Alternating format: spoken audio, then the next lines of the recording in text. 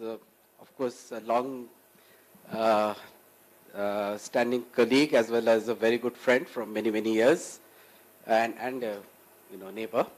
So it was uh, lovely to have Professor uh, N. Ramaprakash from IUCAA. He is currently the dean there.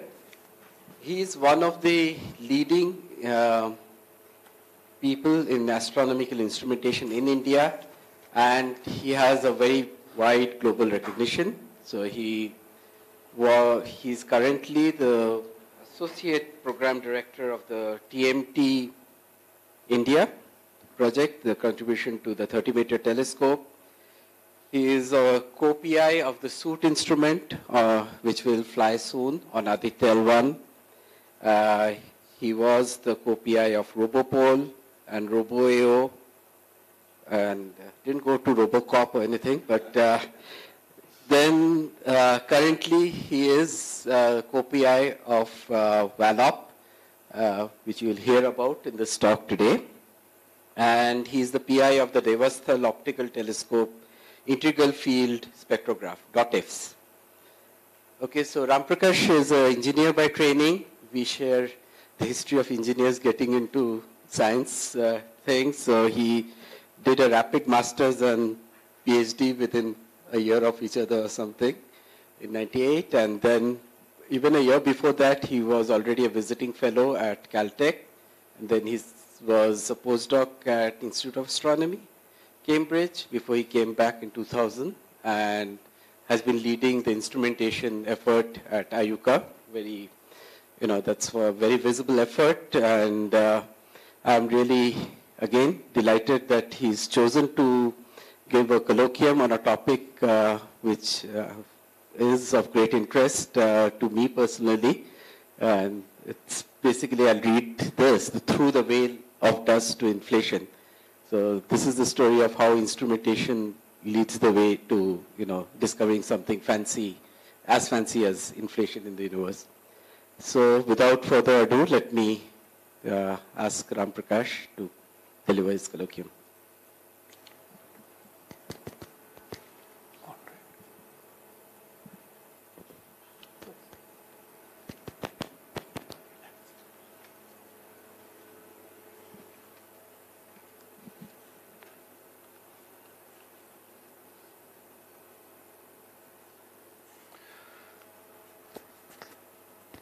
Hello.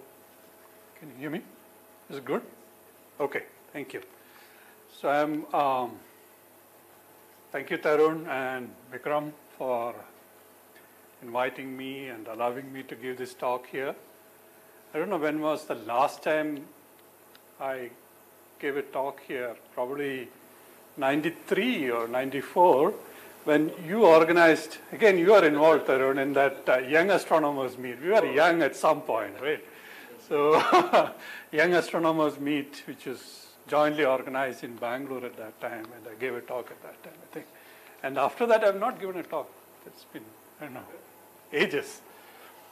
And um, also, it's the first time I'm giving a public in-person talk since COVID hit us a couple of years ago. So it's, it's, been, it's been a while. So bear with me if I'm a bit rusty on presentation skills.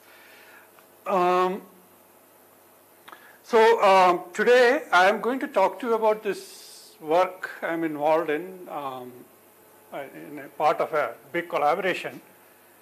And I should warn you that it's a work in progress. Uh, the results of which should come out uh, maybe four, five years from now, when, when, we have, when we have really done the work. But the, the idea itself is so exciting, and the journey itself is so challenging that I thought I should share that with you. Uh, it's, a, it's, a, really interesting program. So, um, so don't expect final results today from my presentation, but um, the, the, tantalizing possibility of what we could do uh, itself is so so so interesting that that it's. Um, um, but before I go on to that, because I have not given a talk here for a while, and many new faces are there, maybe youngsters are there. I thought I'll give you a little bit background of what we do at IUCAA in general at the instrumentation lab. I, I, work in the instrumentation lab mostly, so what we do in the instrumentation lab and just set the stage, put the context around which um, we, we work and, and build this instrument for this, this particular program. So if I have to put what we do in two slides, one is we work on developing niche technologies, R&D activity. No lab can afford to ignore that generally. And uh, we don't do everything under the sun. We, I concentrate on specific areas like uh, application of optical fibers for astronomy, um, adaptive optics systems, developing adaptive optics. Uh, many of you know what adaptive optics is. It's the, system which is used to compensate for the effect of atmosphere as light passes through it in real time. Uh, we develop such systems and we also develop a lot of electronics, especially for sensor controllers, detector controllers. So I'll say a little bit more about that part. I'll not touch, lack of time, I will not touch much of it. These are the kind of controllers we develop, what's called IUCAA Digital Sampling Array Controller. You can see a pretty dense board, 25 layers, more than 2,000 parts per surface, and so on. It's pretty complicated devices. We design and develop these things, and we productize them in the lab, and we sell them. So this is another instrument, another um, controller for near infrared. The previous one was for visible sensors, CCDs kind of things. And this one is for infrared uh, devices. I will not get into the details of all that. Or, but I'll say that, look, some of these sensors which we develop, the controllers we send, develop are used in the biggest observatories around the world. So we sell them, they buy from us. We productize them, sell them, provide support, all that kind of activity. Although we are an R&D facility. So that's a, that's a kind of activity we have. In addition to that, we also do DD, which is design, develop, integrate, and commission instruments from what I call scratch to sky. You start scratching your head about a concept and then deliver it on sky, produce data. So uh, we do that, and there are many instruments, and Tarun mentioned that. Uh, DOTIFS was one of them uh, for the Indian 3.6 meter telescope. It's a multi IFU integral field spectrograph. RoboAO for um, adaptive optic system for observatories abroad and in India. Uh, WALOP, which I will be talking more about later and uh, SUIT, which is a space instrument, the first time IUCAA's lab has ventured into space instrumentation, solar ultraviolet imaging telescope, and so on and so forth. So most of today's talk is about WALOP, but don't worry, I won't talk too much of instrumentation. I'll focus mostly on science for today. I, I was oscillating between what to focus on, science or instruments, and then I thought maybe little bit of instrumentation, but mostly on science. This is just a slide which shows the kind of instruments. This is DOTIFS, this is RoboAO, uh, this is um, SUIT on board Aditya, and so on. And we also are involved in a uh, big way in uh, the 30 meter telescope program. Uh, it's an international program, as you all know. India is supposed to contribute majorly in building several of these components, especially the components under the primary mirror this entire complicated optomechanical system, almost everything you see on that figure is being built in India for the telescope, the TMT telescope. So in IUCAA, ARIES, and uh, um, IIA are the PI institutions for India's participation in TMT, and as part of it, a lot of effort is being done at IUCAA also uh, towards this project. So I'll stop there to give a context of you know what we do in the lab both technology development wise as well as uh, instrument development wise. Let's come back to the main topic of today's presentation. I'll start with introducing you to the two um, acronyms we keep using. WALOP stands for Wide Area Linear Optical Polarimeter. It's the instrument being built at IUCAA. And PASIPHAE um, of course, it has to be a Greek name because we have Greek collaborators. So the, it's a survey um, which will be carried out with the instrument. And the whole top today would be about the motivation of uh, what science motivates to build these instruments and what we expect to come out at the end of it. And if you want to uh, uh, know more about it, please uh, have a look at this paper. So it all starts from the real beginning. You can't go beyond this beginning, right? The very beginning, we believe our universe started with the Big Bang. And the Big Bang itself was not an instantaneous event. I think we believe it, the universe expanded exponentially for a very tiny fraction of the time in the beginning, phase called inflation. Many of us know about it. But we infer that in the, such, a, such a thing happened by looking at stuff which we can see today. And it's all indirect evidence. I mean, people have, clever people have come up with saying, if this happened in the beginning, that will lead to what we see today, kind of uh, explanations. But there's no direct smoking gun evidence yet for inflation.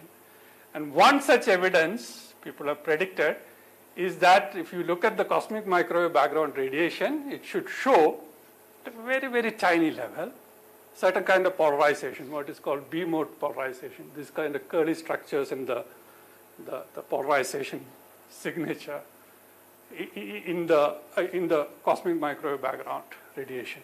And if you can detect it, theorists say that's telling us that inflation definitely happened. And people have been looking for this. And there have been claims that they detected it, and which have been refuted in the past, saying that it's not really detected. Some systematics was interpreted as this detection because it's not done properly. So it's a big thing. so what is the problem in detecting this? The main problem is if you look at this graph, this graph shows what we see as this is some foreground, what we see at these frequencies, these frequencies of these, um, um, the various contributions from different sources like spinning dust, synchrotron, um, Bremsstrahlung radiation, uh, thermal dust radiation, etc., and the CMB. So you can see that at these wavelengths, the thermal dust emission dominates.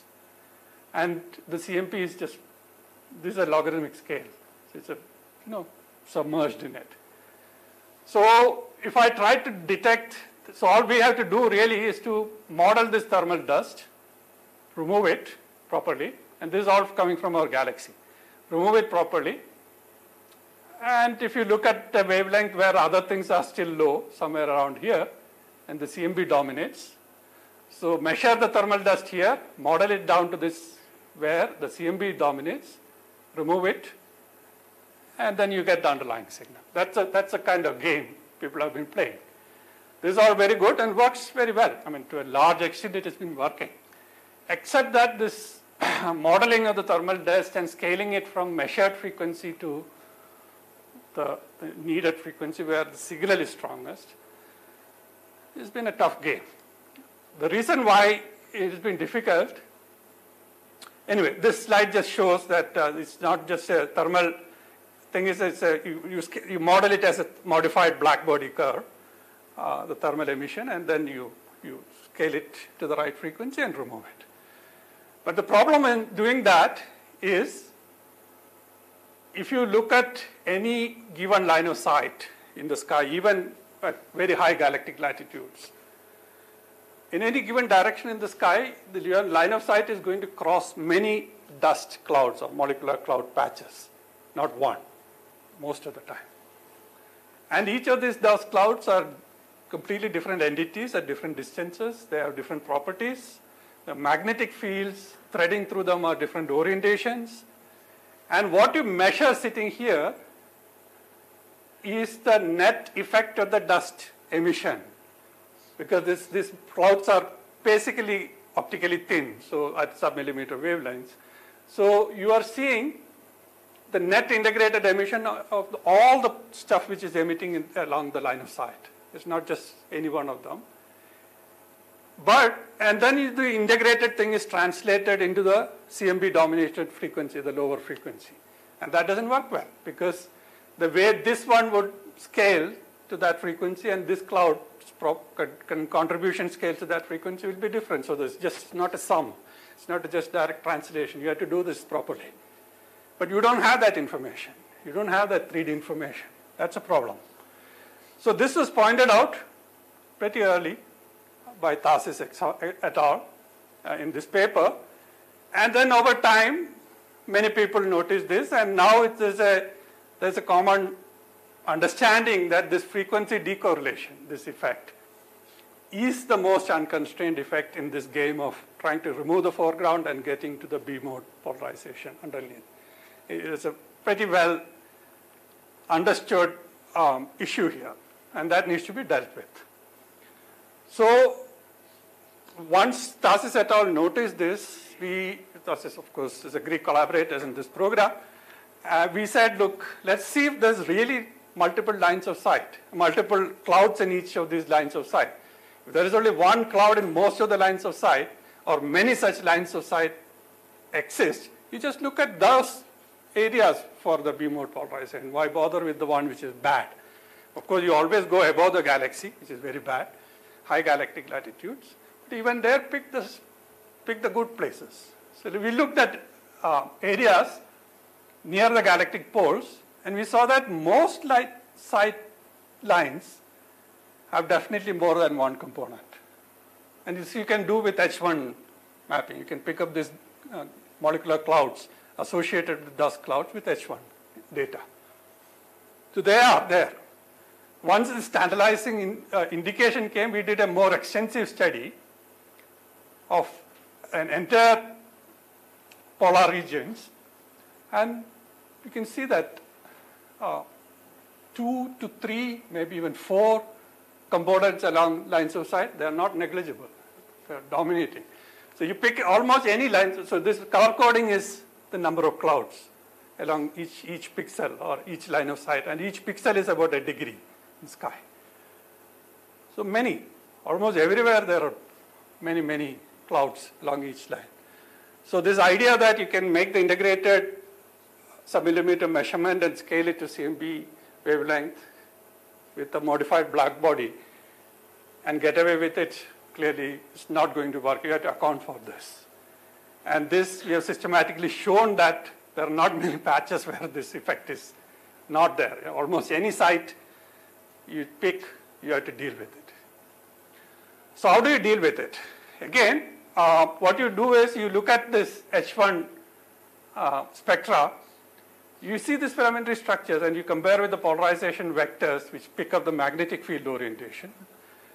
You see them, a lot of them are aligned. The structures are aligned, polarization vectors, basically. So these filamentary structures which are, also we understand that. That's, it's molecular cloud where dust forms and dust gets aligned, non-aligned, non, uh, so spherical uh, dust grains can get aligned with the magnetic fields, and that emits polarization, and the polarized, that emits light. Light gets polarized because the dust grains are aligned by the magnetic field. So that's natural. So we use this information and identify lines of sight which is more than one dust component and only one dust component. And this is just a map. So uh, we create two samples. One is a control sample where only one cloud exists in the line of sight. And there is a target sample where multiple clouds exist in a line of sight. And we know which pixels in the sky these two control and target clouds are from this map, this north and this south. And then go to Planck data. Look at the 353 megahertz Planck data and the 217 data. Find out the difference in orientation of the polarization vector and find out the, the shape of that distribution of those difference. For clouds which have only one, uh, line of sight which has only one cloud and line of sights which have more than one cloud. You can clearly see there are two different distributions. So which means that it, the, the, the, the evidence exists in Planck data. That when you do the scaling, the lines of sight, which has more than one cloud along the lines of sight, shows much broader distribution in orientation of position angles of magnetic field compared to the ones which have only one cloud along the line. So it's clear in the data it's there. So this is also uh, in this paper.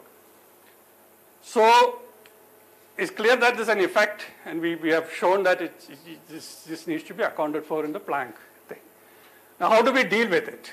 We can deal with it by knowing that the emission which we in submillimeter wavelength produced by this aligned elongated dust grains aligned by magnetic fields. So this is the magnetic field direction and the dust grains if they are not spherical they are elongated which is the case very often. They spin and when the spin interacts with the direction of the magnetic field because of their magnetic material embedded in the dust, the, their short axis tend to get aligned with the magnetic field direction like this. And the long axis ends up perpendicular to the magnetic field direction. And this dust can uh, emit submillimeter and that's the emission you see in submillimeter wavelengths. But on the other hand, this dust also is a good absorber at visible wavelengths. So if there is a star behind the dust cloud, as the light passes through this, uh, this dust cloud, the light is extinct more along this direction than in this direction. So the light gets preferably polarized this way. So the emission gets polarized preferably this way, perpendicular to the B field, because emission is parallel, more parallel to the long axis, while extinction is parallel more to the long axis, so the polarization visible is uh, perpendicular along the B axis. So, but they are correlated. So by understanding that it's the same dust cloud which could be leading to this phenomena, you can use this effect as a proxy to measure what individual dust clouds are doing and then try to use that for a better foreground subtraction. That's a game. Now this slide is also showing that if I compare the emission and degree of polarization in visible, a tight correlation right? in, in various parameterization ways. If you compare emission versus extinction induced polarization in visible, they are tightly correlated. So they, they, the, both effects are coming from the same, uh, same uh, population of dust. So you're probing the same thing uh, by two, two mechanisms. It's also seen here, this is just a Planck uh, polarized dust emission map. And you can see that that's very, I mean, we all know that this is pretty good alignment uh, the magnetic field lines align very well with the dust uh, lines also, and the emission uh, polarization orientations also line up very well. So this is all good. We, we clearly understand this. Now, how do we use this? The problem when we are using this uh, for as a proxy is, it's submillimeter wavelengths. You are looking at a cone. Your telescope is beaming into a cone in space and collecting all the radiation from that solid angle. But if you are looking at stars, you are picking one line of sight, one pencil beam. So you can't just use one star and say that's exactly what happens all over the place. So you need to have a large number of stars filling up this cone to have an, an idea of what is going on within that cone from which you collect the submillimeter radiation. You have to have enough sampling both in depth as well as in breadth. Otherwise, uh, you can't get this picture properly. So there are these uh, issues that need to be properly addressed for. So we, when we looked at the data, existing polarization data, especially at high galactic latitudes, this is ga galactic latitudes, this is the number of stars per square degree where polarization has been measured. Of course, within close to the disk of the galaxy, lot of measurements, no problem. If you go far away, how do you have a one star per square degree or something measured in polarization?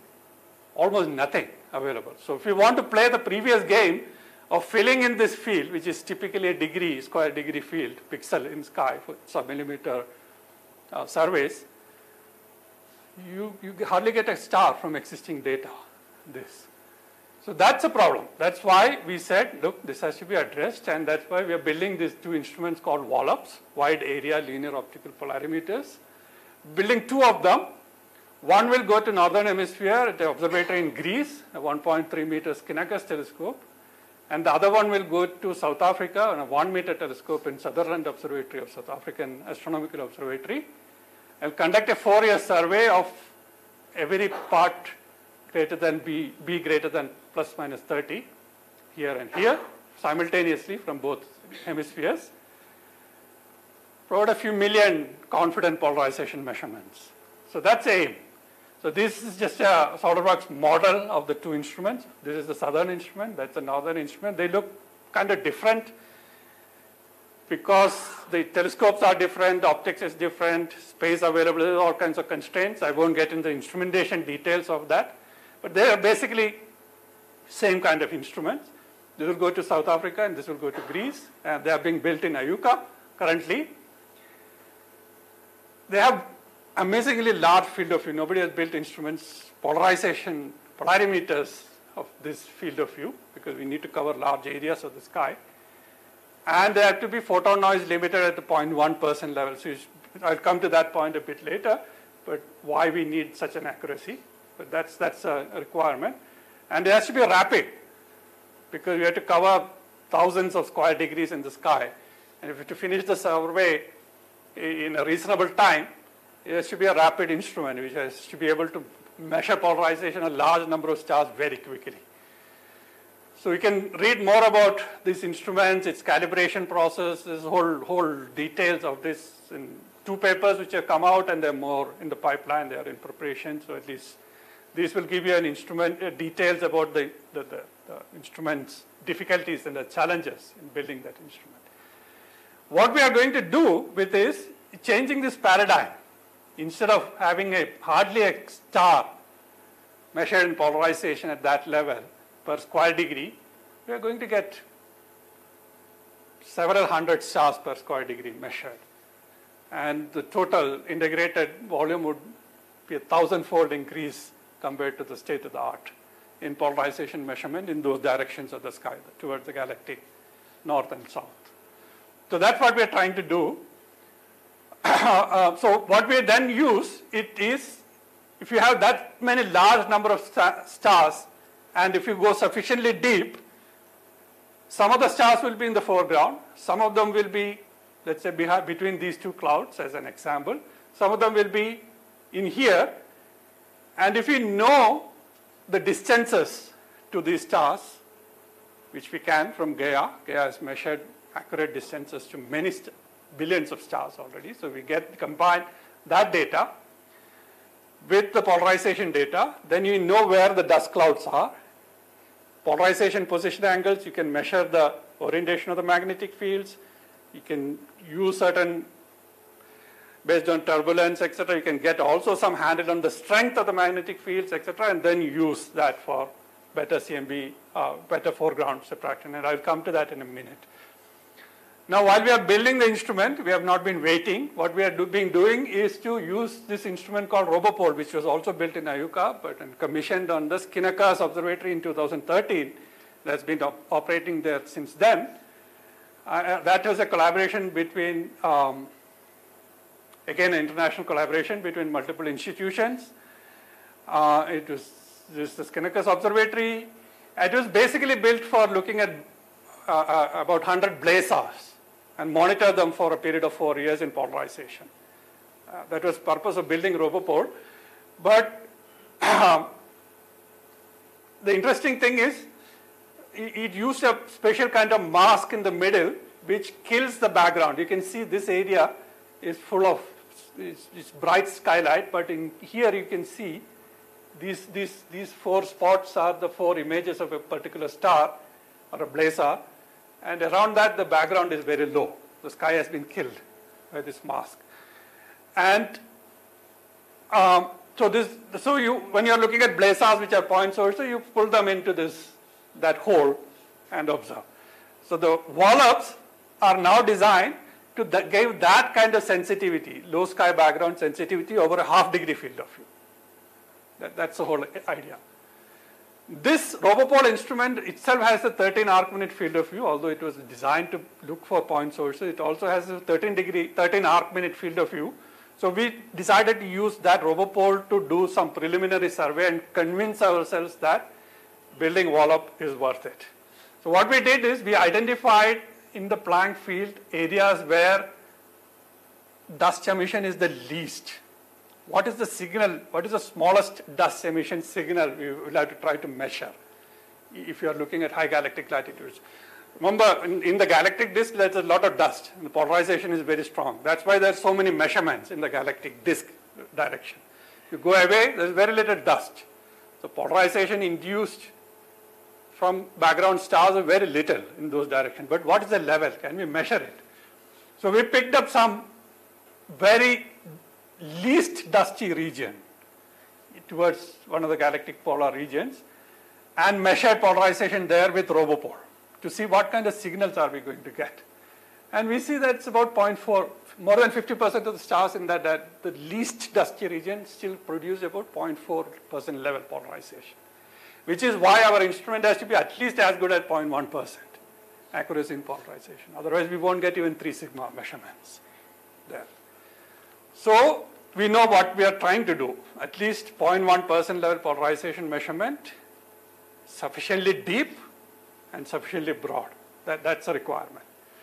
Now, once you get that, you can do this kind of decomposition. You can say with Gaia distances, uh, from polarization information. I'll come to that in a minute, how you do that, how to decouple this dust um, components along the line of sight, which could have different magnetic field orientations, and orientation could change as even within the given dust cloud, as you as projected on the sky, it could change, and that you need to account for that. This is just a slide which shows how many stars you expect per square degree if you go to a certain depth reasonably, within reasonable exposures, which we can achieve with RoboPol. And you can say that about, if you go to about these blue lines are if you hit about 16th magnitude as the faintest stars, you can measure 0.1% polarization in reasonable time, you can get few hundred stars per square degree. That's good. That's good enough to fill a one degree pixel of a submillimeter observation. So few hundred that, that's good. So if you can get hit 16 magnitude, that's, that's, that's good. We also did some sample uh, look at specific sight lines where we said, look, what is shown here is if we look at this black circle and the red circle and look at these two diagrams here, this is a high galactic direction, high galactic uh, latitude direction. We just handpicked along this dark circle, if you look at this diagram here, there are two dust clouds or two molecular clouds. This is just H1. So it's a H1 velocity map. So here you pick one velocity bin in H1, so you get a particular cloud out because it's moving at a particular speed. So the velocity is shifted, and you just pick that one out. So along this, this direction, you get two bumps in the spectrum which means there are two components, an intermediate velocity cloud and a low velocity cloud. While if you look at this red direction here, this intermediate velocity cloud has very little contribution. Mostly dominated by the low velocity, the, the, the farther cloud. So if you look at these two line of sight and try to do polarization measurement, which we did with RoboPol, and then we decomposed this and made polarization measurements and, and established distances to these two uh, clouds and their polarization properties, etc. And you can read all about that in this paper. So we demonstrated that if you build a RoboPol-like instrument, we can do this. We can go down to that uh, magnitude faintness. We can go down to that sensitivity of polarization of 0.1% measurement, and we can do it reasonably. We have the mechanism, we have the, the, the understanding of how to do this. That's demonstrated. There is also, then we took it further, we produced some simulated data and the, to demonstrate this. So this is just an animation which shows polarization measurement and this, this error bars you can see how well you measure polarization and the, and the color coding is the distance. So this polarization if you look at with uh, uh, submillimeter, you will see that an integrated effect and you see the spread in position angle. But you can see here that, let me pause this for a moment. Oops. For a moment. Oops. faster than I can speak.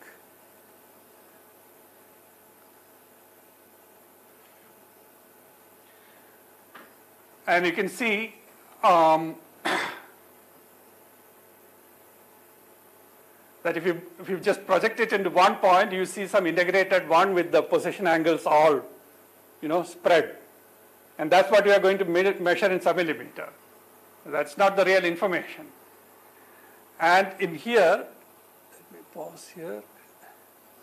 So here, if you look at the Q and U Stokes vectors, which is like the two orthogonal linear position components, you can see two clumps here clearly. So which means there are two contributions to the polarization, at least two contributions, two sources are there. And if you just look at one, which is Q here, you can see as a function of distance. If you mark either U or Q as a function of distance, you can see both of them just separate out into two clumps, which means they are coming from different distances. And you can see the jump in polarization. That's where the cloud is. Because that's where the cloud is adding the additional polarization by extinction. And then you can do that game for multiple clouds. If you have enough sample density, you can do that game for multiple clouds and then create the 3D tomographic structure of the clouds, the distances, the induced polarization, etc., etc. And you can read all about that in this paper, which is just come out. So that was with simulated data. but we have RoboPol. So we did about, picked about 2,000 stars and they, of course a grad student, right? You pick a grad student and say, okay, you put that each star of these 2,000 stars into the sender sensitive box of the RoboPol where you have to observe one star at a time and do that. That's your, that's your PhD, right? so you do that, that's what students are for. So you do that and you get this data and then you use that data to create this kind of 3D tomographic maps. So this is a cone as we are projecting into the sky and this is, this is a, uh, one of them is a horizontal cut and this is a vertical cut. And this is polarization, this is position angle. So you can see that in real data also, a lot of interesting structures are there. Even with one field, just 2,000 stars, painstakingly collected by a, a, a diligent PhD student. Put together, you can recreate the 3D tomographic structure. And there's just one cut, uh, one vertical cut and horizontal cut, but you can see the structure and you can produce the whole tube with that data. So that's good. So we have the whole machinery ready. We are just waiting for the instruments to be up there on the telescope. So what, how do we use this data? What, once we have this information of the 3D structure, how do we use it? At the moment, as we discussed earlier, as we mentioned earlier, the modified black body of the dust curve is just subtracted on a pixel basis. So what we are going to do is to produce enough information of the dust cloud content on each of those pixels. How many line dust components are contributing in each of these pixels. And you can do this scaling on a cloud by cloud basis per pixel. So that you can get at the CMB frequencies what effect it has. And then that would be the one which is be used as for foreground subtraction. Of course, you need a lot of other data for um, determining where the cloud start, where cloud ends. Things get pretty complicated as things go. And if it's already complicated with two clouds in one line of sight, so when it gets to three, four, etc., it can get pretty complicated. But I think we can do it. At least, at the very least, we can tell people which are the really bad lines of sight. Right? Mask them. Don't use them for your B mode polarization look, surveys. These are really bad places to look for. Avoid those places. At least that, that kind of information you can give. There are, of course, when there's a program like this, there are, of course, other byproducts which has to be, which has come out. One of the difficulties we felt, real difficulties is when you do polarimetry of sky, of course, visible polarimetry, and look at the sky, there are no, almost no calibrators available. So you want to make a measurement and you calibrate your instrument, calibrators are not available. There's too few. They were produced ages ago. This is the whole list of calibrators available on these papers, almost the entire list of calibrators. The main problem is almost all of these calibrators, so-called calibrators, are variable at the level of 0.1%, which we want to measure. Uh, they don't work. So you can see that this, this, you can see these circled ones, this variable, variable, variable. So they're called uh, calibrators at the time when you didn't have to hit that kind of sensitivity in polarization measurement, but now they are no longer good. So out of 13 standards, seven are variable, four may be variable. So what is left at that level, right? So that's a problem. So we had to create our own grid of calibrators. And there's only 13 in the whole sky, even if they were good. We are doing whole sky surveys, right? Almost whole sky surveys. So they're not good enough to calibrate our instrument sufficiently frequently and sufficiently accurately. So there is a paper which says, therefore, they should no longer be used to polarize standard stars for precision work. There's been, people have been studied this systematically and said these, these are useless at that level. So we had to undertake a calibrator creation program. So which, for which also we used RoboPol. So this is just a um, um, graph which shows in right ascension and declination a number of calibrators. Remember I said for RoboPol the main purpose was to look at blazar fields. And the, while the blazar was in the mask in the middle, the extended field was looking at other stars in the sky. So they, we, by looking at those stars over a period of four years, we picked up candidates which could be stable enough. And then we used other catalogs, etc., and picked up candidates which could be stable enough to be used as calibrators. And then did a uh, three-year survey with RoboPol focusing on those candidates, spread over the right ascension, declination, so that they are available all over the sky, all through the seasons. And then these are some preliminary results. A uh, few nights per month since 2017, we had been running this calibrator survey. And we have found about 46 calib stable calibrators at better than 0.1%. So out of maybe two left at that level from the previous uh, existing data set, we might have 46. So this would be a real useful data for anybody who is doing polarization measurements in the sky and visible to these stars. now, just a so last couple of slides. Uh, this is the collaboration. It's the international collaboration. Of many institutions involved with different contributions.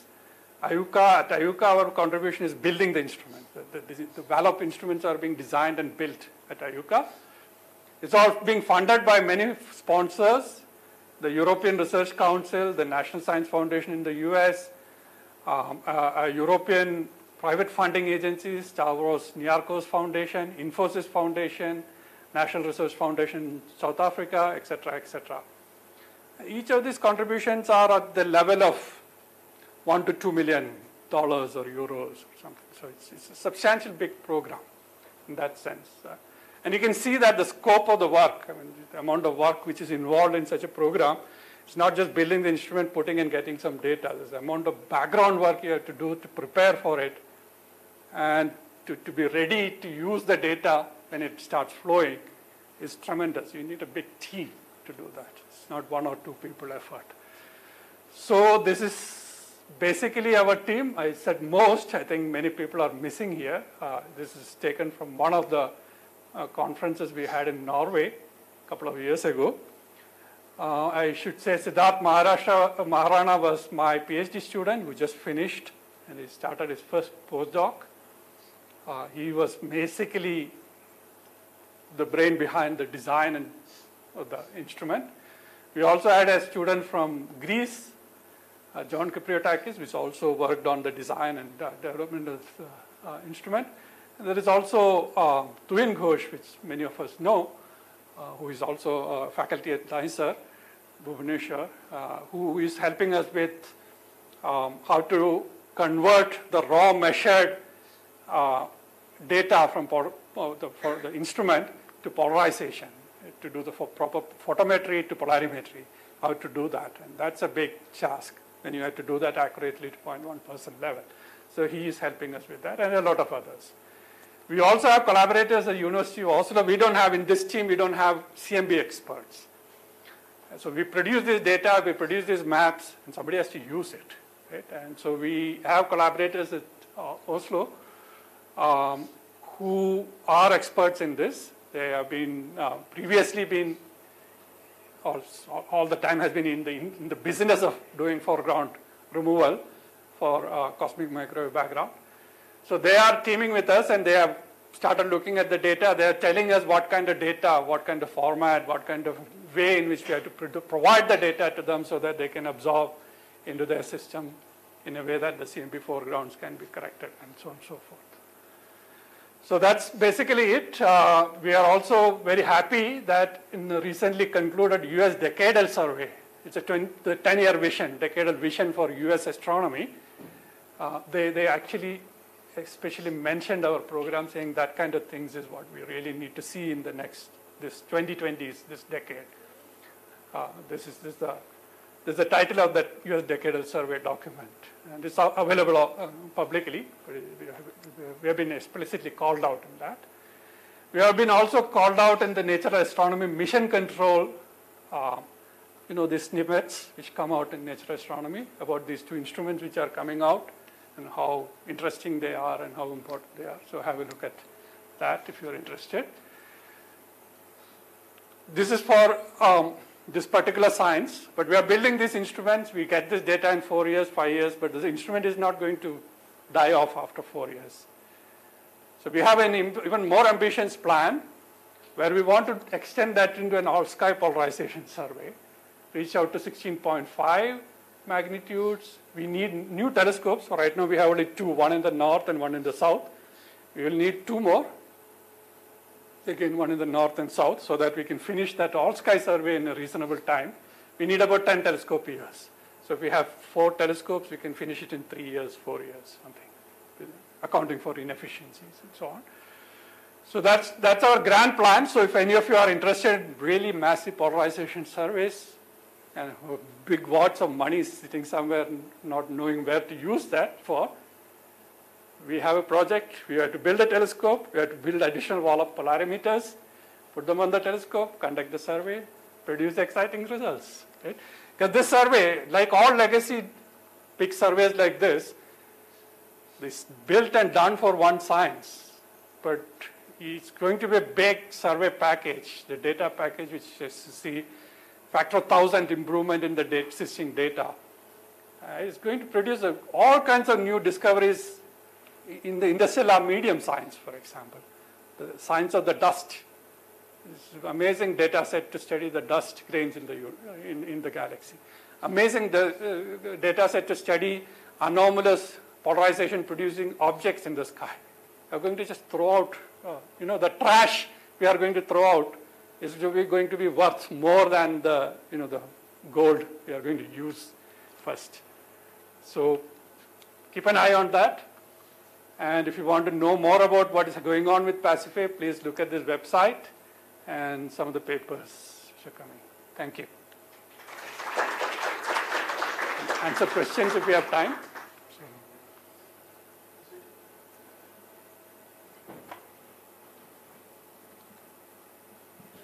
This program and this uh, uh, method is for the galactic contribution. So, is is there any extragalactic contribution that is also significant, like you know, radiation coming through field galaxies? No. No. The galaxy dominates. Okay. Uh, that foreground dominates everything else. And uh, will this instrument will be sensitive for polarization measurements from like the white dwarfs? Yes, yes. That's why I said um, like, uh, uh, magnetars or um, anomalous polarization producing objects, various kinds of binaries and so on. So they will be all there in our fields. does it have some like timing capabilities as well? Can one look at like you know uh, like depending on the timing? So what we are going to do is to our survey plan currently is to do a shallow survey of the whole. Sorry, initially pick up a small area, go deep as deep as you can, but it's a small region. Get that data while people are working on that data, understanding the systematics of going really deep and getting the best out of it, we will complete a shallow survey of the whole sky. And then keep doing that over period to get it as deep as the deepest one. So over time, the depth increases. So we will have many epochs, but it's go- not going to be at the time scale of days, or it's not going to be at the time scale of hours. But as I said, the instrument is not going to die in four years. It's built, it's at the observatory. So after that, if you want to use it for a, uh, let's say, multi-observation per night kind of study, very well use it. And um, one more thing. Uh, the uh, target that you have for number of sources per square degree in the sky, that should taper off at the high latitudes? If it's an uniform survey of the sky? Yeah, I mean, it's, it's flat plotted, the- it's plotted the other way. That is why it's tapping off this way. No, you So the number of, number of- how deep you can go and the number of stars you are going to leave out. That's what is shown there. It- It's just a plotted the other way around because we want to capture what we are able to do. Otherwise, the usual way to plot that is like that. It is plotted like that as function of distance. It's the stars which are left out. Uh, So you are planning to do all sky survey or uh, you can systematically randomize the sky? uh, No, this is about 30 degree latitudes. Uh-huh. North 30 degree, above 30 degree and south above 30 degree. Yeah, uh, I mean the For- remaining sky. Yeah. So uh, you told that you are doing initial. How are we going to fill up that sky? Huh, so it is. uh, So there's a PhD program running where there is a, there's some smart fellow is sitting and writing that survey planner. It has to take into account all kinds of things like you don't want one patch here, one patch here, one patch here completely disjoint. You don't want to focus everything on one side and nothing at the other side. You have to account for moon. You have to account for weather. You have to account for telescope downtime. You have to account for something funny happen like an aircraft pass through your field of view or something. You know, all kinds of things. To, there are things which can be planned like the moon or the major weather patterns. There can be things which cannot be planned for, for which you have to react and adjust your survey accordingly. So there's a whole complicated, um, you know, thing has to be developed to do the survey planner. And that's something which we are working on. So I cannot answer your question in one line where we say, are we randomly going to pack, pick? Okay, we are not. We are going to tile them in some systematic fashion. But the tiling systematic fashion, when you project it to into from the plane of the sky into the actual, you know, the shape of the sky with the projection taken into account, itself will have to have problem, right? The projection effects itself will have to account. So simple tiling is not going to work on a plain paper. It has to account for the projection effects of that as you move towards the galactic poles from the equator. So these kind of details have to be worked out. So it's not random. It's not like adjacent tiles. It's a little more complicated than that. And then you have to account for these real life things. Of, um, so it's by itself is a PhD program. So another question is that uh, these are ground-based uh, optical uh, telescopes. So what about the Earth atmosphere? I mean, how you take care of? Yeah, so we are doing photometry of reasonably bright stars at 16 magnitude, which are, by modern standard, they are bright stars, right? So uh, uh, atmosphere doesn't have, oh, you mean polarization induced by the atmosphere? Yeah, we have done that measurement at 0.1% level, most of the time it's not a problem. If you go below to 0.05% level, and the dust content in the atmosphere is large and it has some reason to be aligned. Random dust is not a problem. The problem comes if the dust is such that the source of illumination of the dust, the dust package itself, and where we stand, they combine in a way that they lead to net polarizations. We will have a problem at 0.05% level, not at 0.1% level. So seeing is not a big uh, issue here. is- I mean, how many nights do you get at uh, your telescope? Yeah, so we have um, uh, this Observatory, that telescope will be fully dedicated for this survey. Mhm. Every night is available. Uh, the No, how many nights does Ah, it get so per year? From RoboPol experience, it's about, we have said we can get about 200 usable nights Usable nights. every year. The Southern Observatory is smaller telescope, so exposures have to be longer. And they are offering four nights for us and one night for them. So one in five. So that efficiency factor will come in. So again, roughly 200 to 200, it's slightly better site, so you get more um, more nights on, an, on a year. And also in the, in the southern instrument, we are designed in a way that it actually gives 35 by 35, which kind of compensate for the aperture loss by covering more area in one exposure. So this is, we are playing this game. So roughly they are matching. So all of the order of 200 nights per year. So in India, do we have any telescope which fits the bill? I mean, apart from the fact that no one will, they may not give it to you for this use, but 1.3 meter telescope of Aries okay. It's a good uh, possibility. It's a very one and one degree field of view telescope designed for making surveys. So if we So can, what is it used for now? I don't know, as a general Okay. purpose facility, but uh, when you asked, is there a telescope? Yes, is, there is a telescope. Now, whether they will be able to dedicate substantial amount of their time for such a program for a few years, something we need to. I mean, I think it's worth it. I think it's the thing to do for such a telescope. It's a legacy data set will produce. But it's, some convincing is required.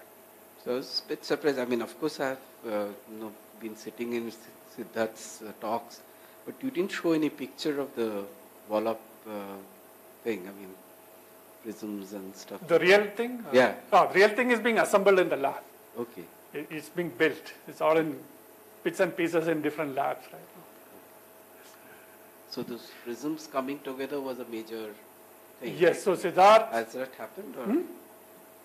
Putting those Putting prisms together is together the was major supposed thing. to be a big challenge. that's why I said the southern instrument, so Sutherland may go and become online on the sky, I don't know, six to eight months from now at best.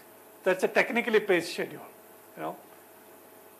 Uncertainties are there and un- unknown thing, but everything works filed in a technically paced schedule and the other one in six months after that. That's a kind of schedule.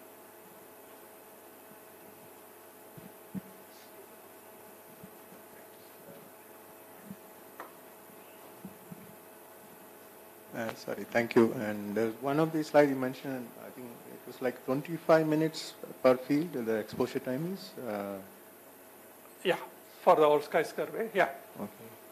And this is, this is the target even for the WALOP survey. This is 25 minute is because uh, we want to go a little deep. Here it's 16.5. For the PASIPHAE survey, we are initially aiming to go to 16th magnitude, which makes this slightly shorter than 25 minutes. And what is the polarimetric sensor actually? and CCD. CCD. I didn't get into the instrumentation details. What we are doing is, if you, uh, I don't know how much time we have, but um,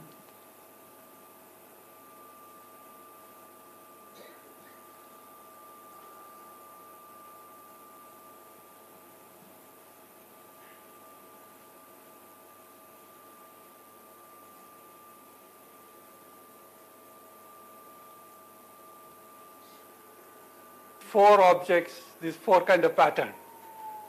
Right. So each of them is a given star divided into four. So four images of one star.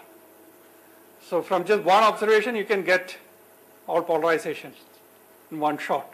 So there's no moving component. That's why it is very efficient.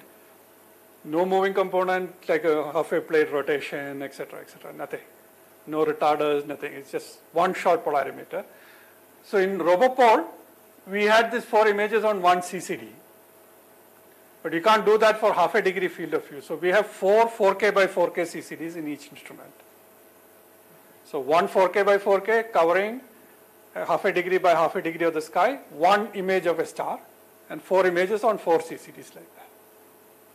Okay, So it's the same concept, but built for wider field. thank you. And who, who is developing this? Uh, this is an existing uh, CCD. Sorry? Are they especially developed for this? No, no, they CCD is just uh, e2v standard 4K by 4. I mean, it is picked with certain parameter, optimized and so on, but it's uh, nothing very special about the CCD. The, the, the instrument itself is complicated. It is, it is probably the largest polarization elements with calcite which is ever built. So such pure calcite of that size is almost impossible to get uh, for these Wollaston prisms. They basically use Wollaston prisms. You might know about Wollaston prisms, so polarization separation. So the, the company Karl Lambrecht Corporation is well known for making polarization optics. They struggled for three years, I think, to make that polarization assembly. The- There is there are some challenges, but I thought the instrumentation may be not so much interesting for a crowd, so I kept all that out from the talk.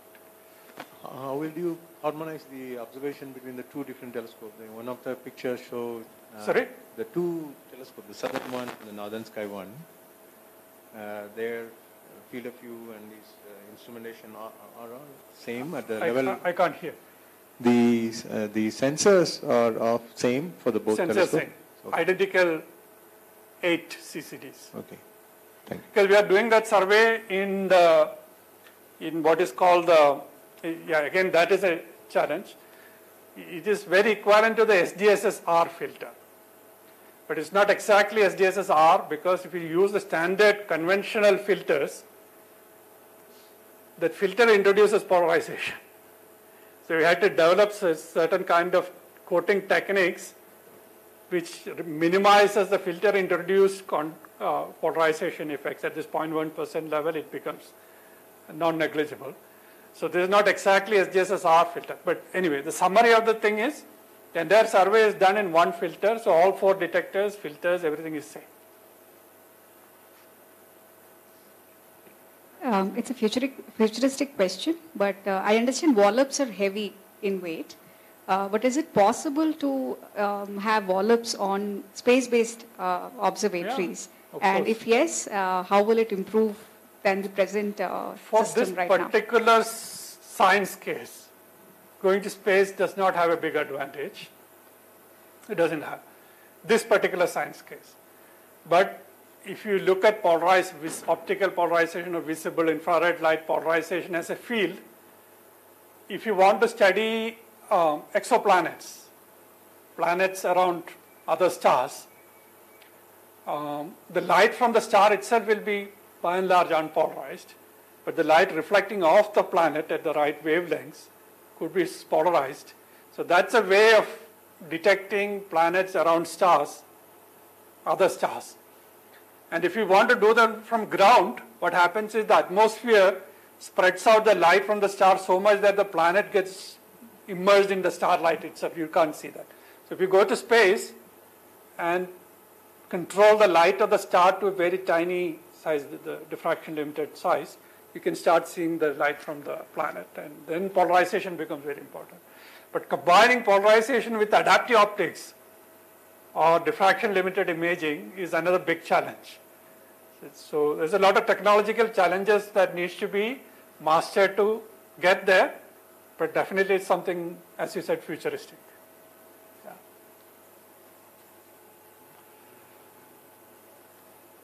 No questions from the students?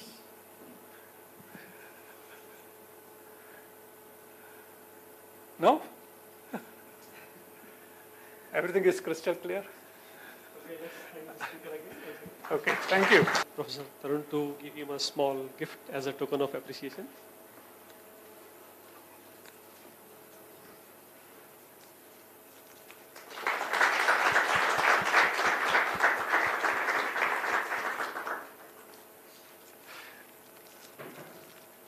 Okay. So the students, if you come outside and ask me a question, I won't answer. You have to ask the question here in public.